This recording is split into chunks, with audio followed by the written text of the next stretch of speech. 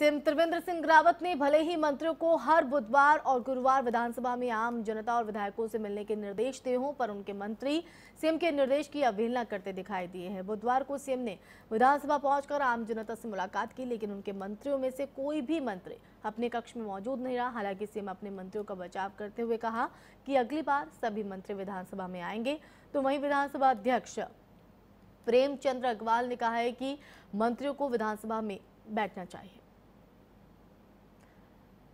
तो सीएम के आदेशों की परवाह यहाँ पर नहीं लेकिन हालाँकि इसमें सफ़ाई ज़रूर देते हुए नज़र आए तो विधानसभा में जनता से मिलने पहुँचे सीएम की तरफ़ से कहा गया। अब आगे से तमाम मंत्री यहाँ पर मौजूद रहेंगे। यशपाल आर्य जी तो मेरे साथी यहाँ पर आए हैं। हमारे एक पदाधिकारी के परिवार में शादी है इंदौर में। काफ़ी लोग वहाँ गए हुए हैं। तो जैसे ही आ जाएँगे फिर यहाँ पर बैठना शुरू करेंगे। किसी भी किसी भी माननीय जनप्रतिनिधि को और उसके ऊपर फिर हमारे माननीय मंत्री गणों को विधानसभा में या जहाँ भी जनता सुविधा से पहुँच सके, उन्हें ज़रूर बैठना चाहिए। क्योंकि हमारी जनता बहुत उम्मीद करती है जनप्रतिनिधियों से, माननीय मंत्रियों से, सरकार से, और उनके मिलने के बाद कई समस्याएँ तो बहुत आसानी से हल हो जाती है। और यदि माननीय मुख्यमंत्री जी ने निर्देश किया है कि उनको यहाँ बुध और बृहस्पतिवार को रहना है तो उनको रहना चाहिए। मैं तो उनसे अपेक्षा कर रहा हूँ कि हमारे माननीय मंत्रीगण इन निर्देशों का निश्चित रूप से पालन करें।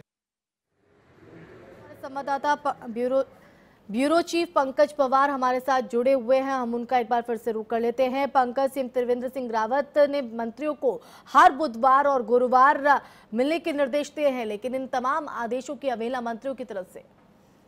आ, बिल्कुल हशीमा सबसे बड़ी बात यही है।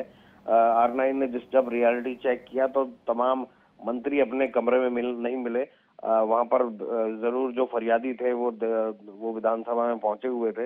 अब, जब कोई मंत्री नहीं था तो ज़्यादातर जो फरियादी थे वो मुख्यमंत्री के पास ही चले गए। लेकिन बड़ा सवाल यही उठता है कि क्या जो मंत्री हैं वो इतने अपने आप में मनमस्त हो चुके हैं कि अगर मुख्यमंत्री उनको आदेश दे रहे हैं कि आपको बुधवार और गुरुवार को विधानसभा में बैठना है तो वो आएँगे नहीं।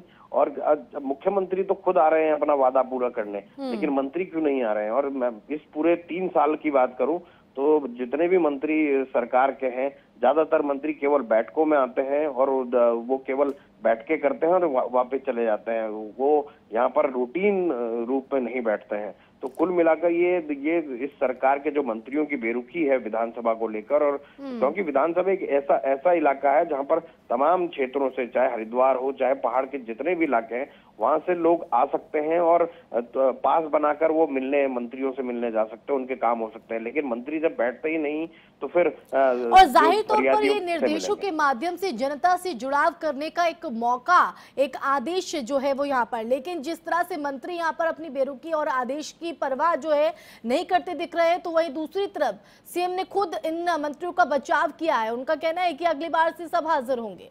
तो ये बचाव के पीछे क्या वजह मानी जाए? आसिमा मेरा मानना है कि अगर मंत्रियों को आदेशों की ज़रूरत पड़े आने के लिए फिर तो फिर सरकार के इन मंत्रियों के के ऊपर क्या कहा जा सकता है?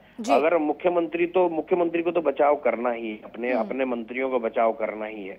लेकिन मंत्रियों को भी सोचना चाहिए कि अगर मुख्यमंत्री को उनके लिए आदेश जारी करना पड़े कि बुधवार और गुरुवार को तो बैठ जाओ पूरे हफ़्ते में मंत्री नहीं बैठते हैं। उसके हम्म। अलावा महीने महीने हो जाते हैं मंत्रियों को विधानसभा में आए हुए। तो ये ये कहीं ना कहीं विडम्बना है उत्तराखंड राज्य की। ऐसे में ज़रूरत है कि ओवरहॉलिंग करने की और मंत्रियों को जरा और एक गलत संदेश भी कहीं ना कहीं पार्टी को लेकर जाता है। हालाँकि डैमेज कंट्रोल ज़रूर सीएम की तरफ़ से किया गया है। फ़िलहाल बहुत बहुत शुक्रिया पंकज आपका जुड़ने के लिए।